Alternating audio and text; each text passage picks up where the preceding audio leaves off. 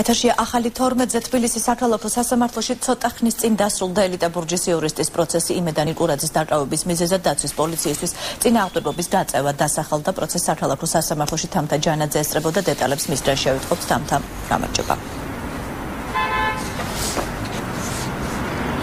დიახ, სოფო, რამდენიმე წუთის წინ დასრულდა ელიტა ბურჯის იურისტის იმედა ნიკოლაძის სასამართლო პროცესი განაჩენი უკვე ცნობილია მოსამართლე მას 20 დღით თავისუფლების აღკვეთა შეუფარდა. იმედა ნიკოლაძეს ეზავებიან იმას, რომ მან პოლიციას წინააღმდეგობა გაუწია. ახლა ჩვენთან იმყოფება მისი ადვოკატი ქალბატონი ალა კახნიაური და მე გადავალ კითხვით მასთან ქალბატონო ალა დეტალურად რომ მოგვიყეთ რა მოხდა სასამართლო პროცესი და როგორ შეაფასებთ გადაწყვეტილებას მოსამართლეს. მე მგონი ამ შემთხვევაში უფრო საინტერესო იქნება ის მოვლენები, რომელიც განვითარდა მანამდე, სანამ ჩატარდებოდა სასამართლო პროცესი. ვინაიდან ეს მოვლენები, ამ მოვლენებმა განვითარება დაიწყო ჯერ 2012 წლის 6 აგვისტოს, როცა საახსრულებო სამსახური შევიდა ბურჯის კუთნილ ტერიტორიაზე, რომელიც მდებარეობს ბოგდან ხმელნიცკის 52 ნომერში და მოითხოვა ამ შენობის გამოთავისუფლება. ეხლა მე მინდა აღნიშნო, რომ ამ ტერიტორიით სარგებლობს ელიტა ბურჯი ქირავნობის ხელშეკრულების საფუძველზე და შესაბამისად იმედა მუშაობდა ამ კომპანიაში компания și ბუნებრივია, როგორც კი შევიდა საახსრულებო სამსახური, ბატონმა იმედა მოითხოვა შესაბამისი საბუთების წარმოქმნა თურის საფუძველზე ისინი იმყოფებოდნენ ამ ტერიტორიაზე.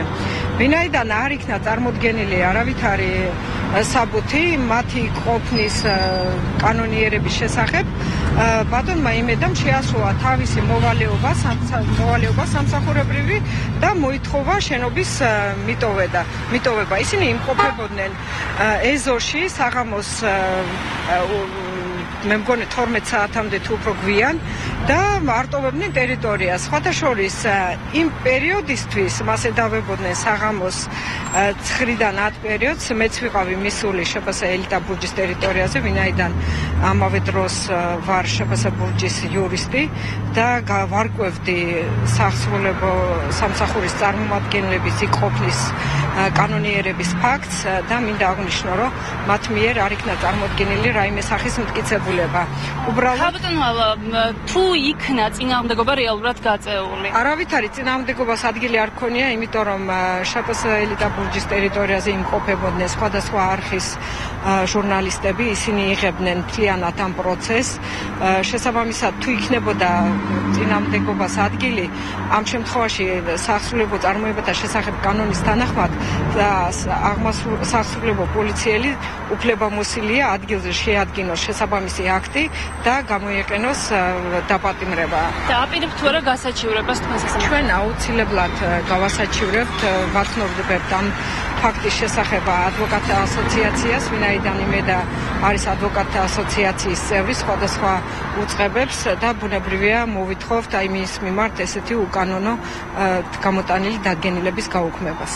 დიდი მადლობა ქალბატონო ალან მაყურებელს კიდევ ერთხელ შევახსენებთ რომ ელიტა ბურჯის იურისტი გუშინ საღამოს საათებში დაახლოებით 11 საათზე იმ დროს დააკავეს როდესაც ის გუნძოლთან ერთად ორთაჭალის მიმართულებით მოძრაობდა დიდი მადლობა საქალაქო სასამართლოდან პირდაპირ ეთერში თამთა ჯანაძე საუბრობდა მაშასა კომპანია ელიტა ბურჯის იურისტი იმედანი ტურაძე 7 აგვისტოს საღამოს ორთაჭალაში დაარტყეს.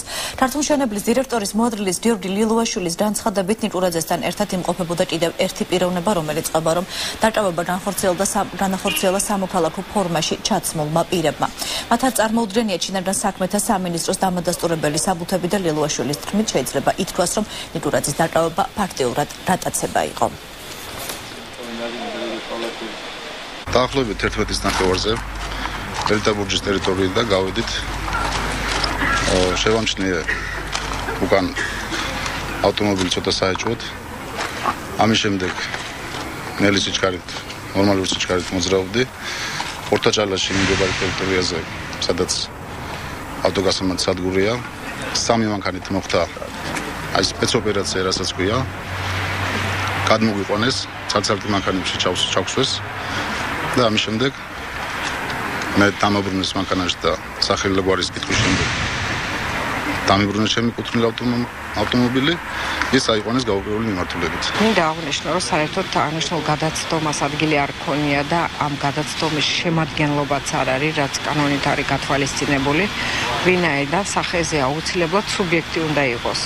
ეს უნდა იყოს ან პოლიციელი, შინაგან საქმეთა სამინისტროს თანამშრომელი, ან საახსროლებო სამსახურის პოლიციელი. მე გუშინ ვიმყოფებოდი ელიტაბურჯის ტერიტორიაზე და მინდა აღვნიშნო, რომ აქ საერთოდ არ ყოფილა არჩინაგან საქმეთა სამინისტროს თანამშრომელი, არც ახსოვლებო სამსახურის პოლიციელი.